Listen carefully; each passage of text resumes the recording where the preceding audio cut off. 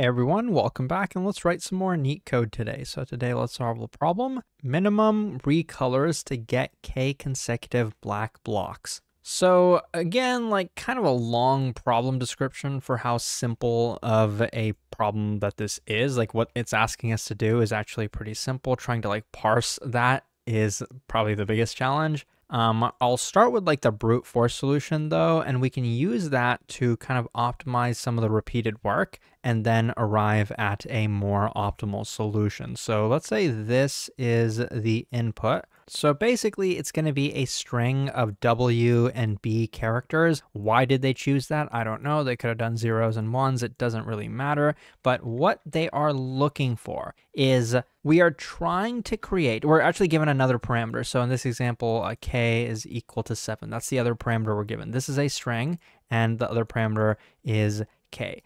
What we are doing is looking for a substring, or you could call it a window, such that for us to make this entire window of size k, the window has to be of size k. So right now you can see the window is 7 long. For us to take this window and turn it into all black, so we can recolor a white to turn it into a black. And so how do you do that? Like how many recolors would it take to make this window all black? Well, all you do is just count the W's in that window. So we could do that. For this first window that starts at zero, we see that there are three W's in that window. So it would take three recolors to make this all black. Okay, that's good. What about the next window? This window over here that starts at the second character. Well, that one has one, two, three whites as well. So it would take three recolors. Okay, what about the next window? The one that starts over here. Um, that one has one, two, three. So once again, three. And then what about the last window that starts over there? That has one, two, three, four. So among all of these windows, which one had the minimal amount of recolors? Well, the first three had three, and the last one had four. So I guess the minimal one was three. So we return the minimal, which is three. If you look at what I just did, this brute force, what would be the time complexity of it?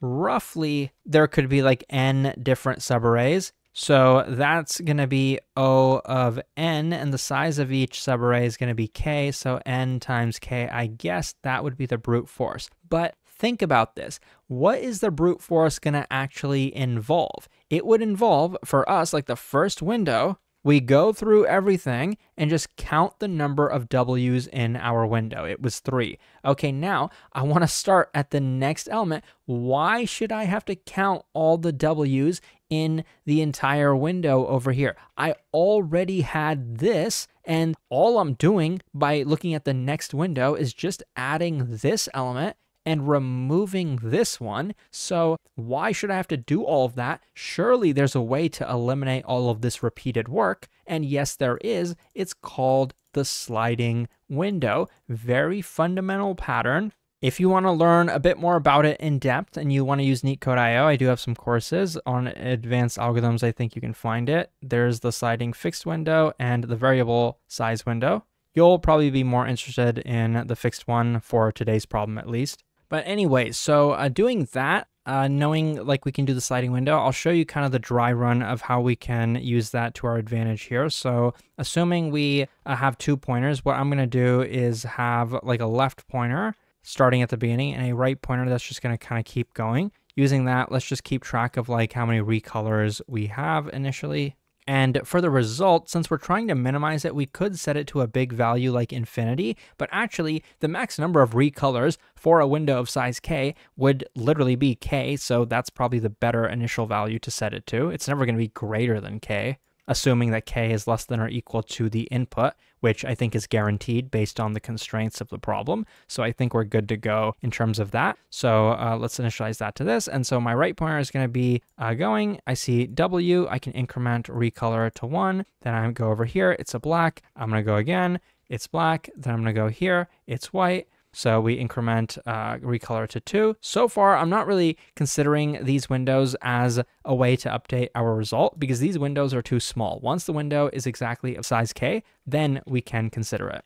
Now uh, right is over here. Well, over here, we would have incremented it to three. Now it's going to be over here, and then it's going to be over here. And now this window is big enough. So we will try to minimize our result, and 3 is less than k in this case. k was 7, so now we can update our result to be 3. Okay, now, since our window is exactly of size 7, we should probably take the left pointer and shift it, because we're about to shift the right pointer as well. So let's shift the left pointer. And if the character at the left pointer before we shifted it was white, well, then we just removed a white from our window so we can decrement the number of recolors. So now it's going to be down to two, but after we increment the right pointer, it's going to be over here. It's white. We have to increment recolors. It's going to be three now, and the result is exactly equal to three as well, so nothing to do there. Once again, we will take the left pointer, shift it. It was black, so no need to update this. We will take the right pointer, shift it, nothing really changed, so nothing's going to be updated.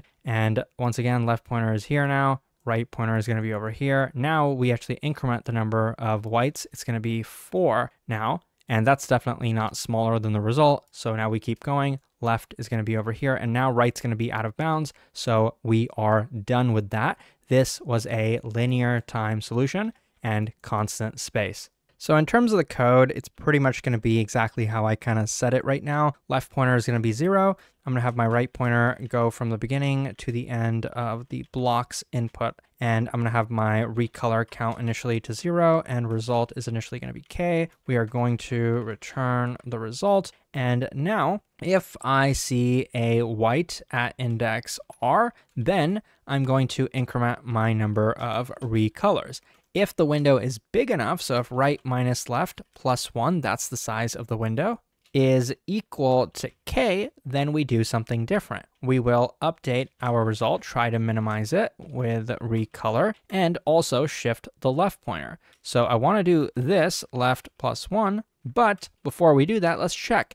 If the character at the left pointer is white, then we should probably decrement the number of recolors. So that's the entire code. If I made it look easy, please don't feel bad if you're a beginner. I've done this literally like a hundred times, probably not that many times, but I've done it many times. But I'll run this for you. And you can see here, it works. It's pretty efficient. If you want to learn Python, I have several Python for beginners courses. Well, not just beginners, but also like Python for coding interviews and object oriented. I think Python is the best language for coding interviews. But anyways, thanks for watching and I'll see you soon.